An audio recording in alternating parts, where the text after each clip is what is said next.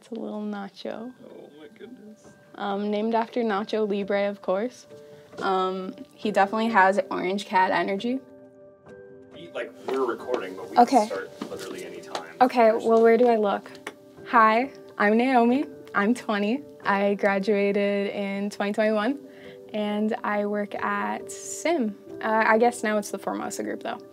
I feel like it definitely was a thing in school where it was like you have to plan your life at 18 and like I'm still super young, so it's still like I have a life ahead of me, but going there and having like a year's program just to say, okay, you can do it. It's gonna be like certain steps. You're gonna have to like do grunt work first, but then you're gonna have like a career. It was super helpful to put it in perspective for me. So I'm a layback operator. Once it, it, everything's done on the stage, uh, with the mixers, it comes to us for like final listen through, make sure there's no clicks and pops. Then it goes to QC. And once it passes QC, we just send the deliverables to the distributor, and um, it gets put on TV or film or wherever it's going to. I get in and I'll watch a couple shows a couple times for each deliverable, and then yeah, we just send them out, and that's basically every day. Also, lots of backups. We're trying to get our backups done before we move buildings, but yeah. It's a DVDs to archive, lots of copying them over onto our servers. I'm just like a normal nine to five, so it was super weird switching from like school to a nine to five, but I think it was definitely helpful having the long hours there because now I can like just switch if I need to be here longer. I can do that without an issue because like I was in that schedule at OIART anyways. We always help the mix assistants.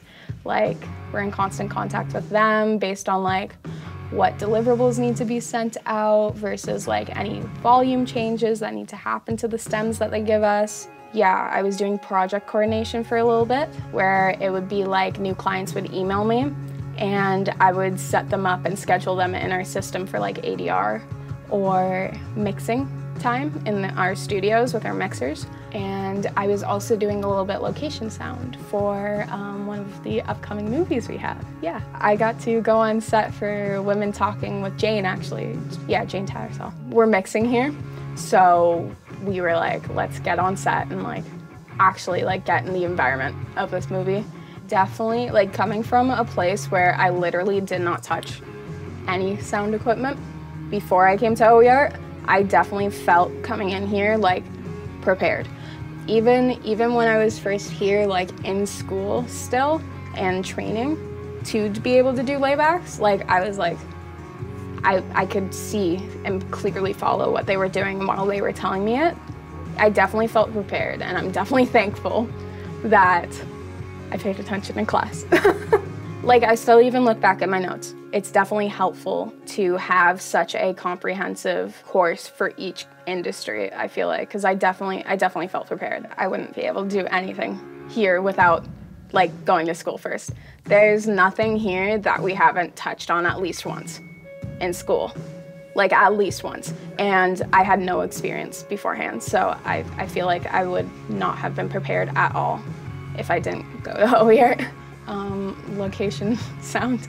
Yeah, the Gaggio lab, genuinely helpful for the location sound um, that I did because for parts of it, it was like, Jane would just be like, okay, have the sound recorder, you're wearing this now, I'm gonna go do this, go record me, kind of thing. And it was just like, I need to be able to know how to do this we've handled so much stuff and actually gone through it and been like, okay, if you're in a certain scenario like this and you have one lab by the end of the semester, I felt confident enough to be able to do it on my own, which like actually ended up using like right away. All the teachers were like so personable and like so easy to come to with issues. I felt like it definitely was my ideal education small classroom size with actual working professionals. Like what more could you ask for? Yeah, I definitely felt like there was a good like mentorship. If I was willing to take out of it, they were willing to give. I dropped out of Windsor because I didn't want to be a vocal jazz major. And then I looked up Sound Recording School Ontario. Uh, yeah, I feel like if I definitely didn't just like take a chance on the school. I would not be where I was. And I think from the outside perspective, I definitely expected it to be like your regular schooling environment. Because, like, even with like small schools, in my experience, you still kind of get that, like, okay, you're here for education and your marks first, rather than we're here to prepare you for real life.